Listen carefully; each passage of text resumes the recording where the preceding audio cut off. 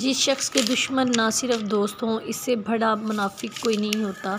क्योंकि दुश्मन इसी के होते हैं जो हक़ की बात करता है, जब दुनिया किसी की तरफ़ रुख करती है तो दूसरों की खूबियाँ उसे उधार दे देती है। और जब इससे पीठ फेरती है तो इसकी अपनी खुशियाँ भी इससे छीन लेती है। कुछ लोगों को पछतावा भी नहीं होता। और हम सोचते रहते हैं कि शायद इनको किसी वक्त एहसास हो होगा अपने गलत रवैये से, अपनी गलत बातों का। लेकिन ऐसा नहीं होता, क्योंकि ये जो पछतावे होते हैं, ये सिर्फ़ ज़र्फ़ वालों के, लोगों के पास होते हैं। बीस लोगों के पास सिर्फ़ अपना आप होता है। तो अस्सलाम वालेकुम प्यारे viewers, welcome back to my channel Shivana Musa. तो प्यारे व्यूवर्स, ये सुबह सुबह का टाइम है, मूसा स्कूल जा रहा है, मैं उसे गेट तक छोड़ने आई हूँ। क्योंकि मुझे उसकी बड़ी फ़िक्र रहती है तो थोड़ा सारा मैं आयतल कुर्सी लाजमी पढ़ के उसके ऊपर फूंक देती हूँ, ताकि वो अल्लाह के हिफ्ज़ अमान में जाए। अल्लाह ताला उसे कामयाबियों से हम कनार करें।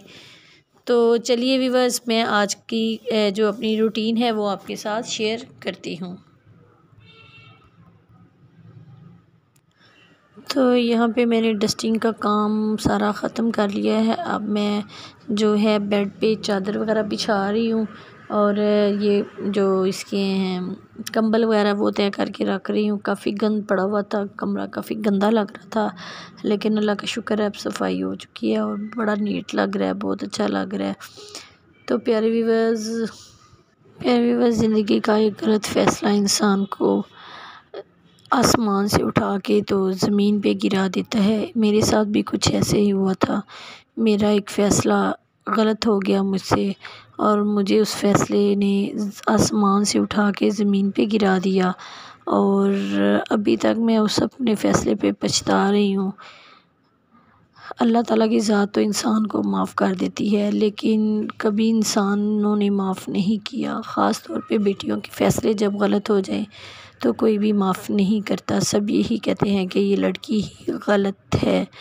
जैसे कि मैंने मूसा के बाबा से शादी की थी तो सारी बात है वो मेरा फ़ैसला था। तो मैं अभी तक अपने फ़ैसले पे पछता रही हूँ। बहुत बड़ा और गलत फ़ैसला हो गया था मुझसे।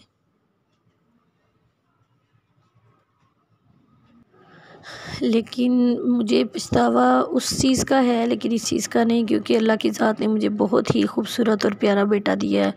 और इन शह मैं इसकी अच्छे तरीके से परवरिश करूँगी, इसको पालूँगी, पढ़ाऊँगी, लिखाऊँगी और इस काबिल बनाऊँगी कि ये अपने पाँव पे खड़ा हो जाए।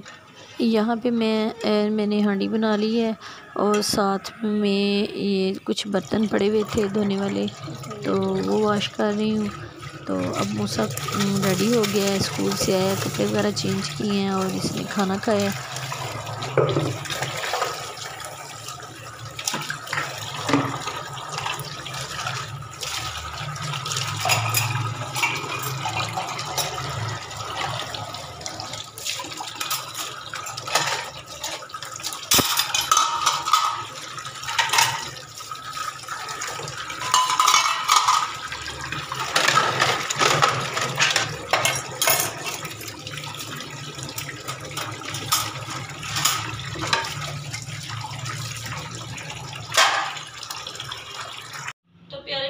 देखिए मूसा अभी स्कूल से आया है और उसने ऐसे ही ये ना चीज़ें फेंक दी हैं ये देखिए उसका बैग है और ये मैंने उसके कपड़े रखे हुए हैं।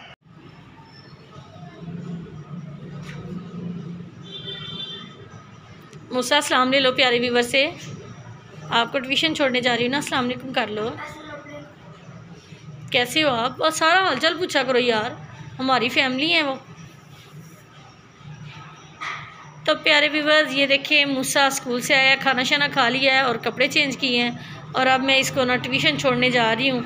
तो चलिए फिर मूसा, चलते हैं ट्यूशन प्यारे व्यूवर्स मुझे आपकी सपोर्ट की ज़रूरत है। तो चलिए फिर मैं आज के व्लॉग का यहीं पे करती हूँ। एंड अल्लाह हाफिज़